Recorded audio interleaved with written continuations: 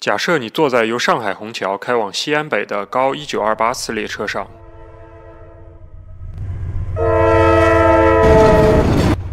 现在是下午两点四十分。五分钟前，列车刚刚驶出南京南站。十二分钟后，你会在滁州停车五分钟，待避身后去北京的高幺三六，然后以三百公里每小时的速度冲入京沪高铁最繁忙的区间——蚌埠南至徐州东区间。福州开来的高三三零会在蚌埠南等着给你让路，并在你之后保持四分钟的车距和你追踪运行。你们会一起在宿州东站待命追上来高四，最后你会在徐州东转上郑徐高铁向西安行驶。这些列车的运行时刻被紧凑地安排在了一起。一旦有意外情况导致列车晚点，上面的这些列车都有可能因此晚点，进而影响所有通过徐蚌段的列车，甚至是全国铁路网的运行。和我们在幺二三零六看到的时刻表不同，组织列车运行的基础是列车运行图，它大概长这样：每一条线都是一趟列车，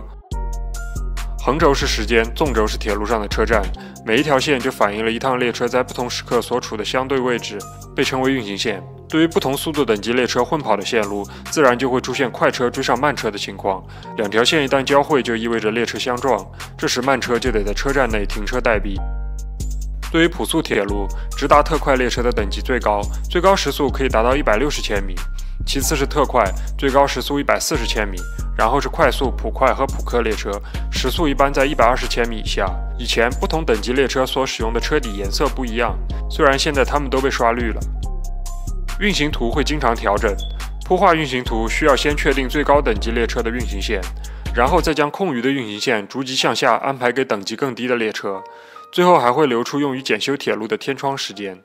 这样就大致得到了一张可行的铁路运行图和对应的时刻表，列车就可以开始按照时刻表运行了。除了运行图，列车的运行还需要一套可靠的列车运行控制系统。闭塞是防止列车相撞最重要的机制，将铁道分为一个个区间，每个区间内两条铁轨互相绝缘，列车通过就会短路两条铁轨，表示闭塞分区里有车。列控根据区间被占用的情况给列车发放行车许可。普速列车的列控系统是 LKJ 两千，通过监控列车车轴的转速，然后对速度积分，配合车载的地面数据来推算列车的位置，并给出相应的灯光信号。一旦列车超速或闯入被占用的闭塞区间，停车，停车，LKJ 就会根据情况做出从语音警告到紧急制动等不同的反应。与 LKJ 不同，高铁使用的 CTCS 系统通过应答器来确定列车的位置，发送线路参数和限速信息。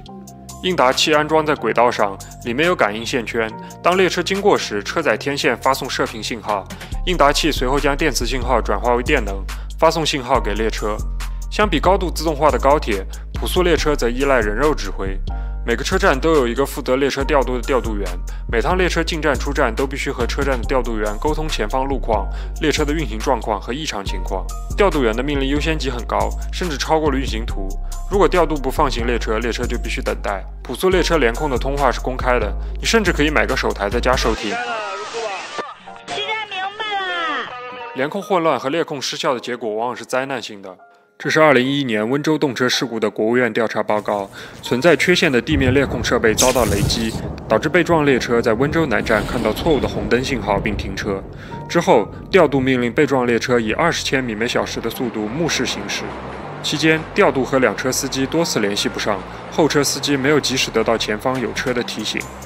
同时，因为雷击的破坏，导致列控中心认为前车所在的闭塞区间未被占用，将无车占用的信号错误地发送给后车，这样后车就在错误的引导下撞向了低速行驶的前车。虽然事故的原因并不是车速太快，但2011年事故后，中国高铁仍然被命令降速运行，其中既有线上的动车组时速不能超过160千米，原有的应答器也被拆除。所以，用能跑二百五十公里每小时的动力分散式动车组开一百六十公里每小时就不太划算了。于是，二零一九年一月五日，铁路总公司调整运行图后，复兴号动力集中式动车组出现了。它们虽然长得像传统动车，但只是把普座列车更换了外壳和内部装修，拼成了一列动车组，最高时速也只有一百六十千米。当然，票价还是得和其他的动车组列车一样。我是聂童宇，如果你喜欢本期节目，欢迎转发支持我们。你可以在微博、微信、极客、B 站搜索“回形针 Paperclip” 关注我们。关注我们的微信公众号“回复火车”，可以获得一份 LKG 两千的操作手册。我们下期节目见。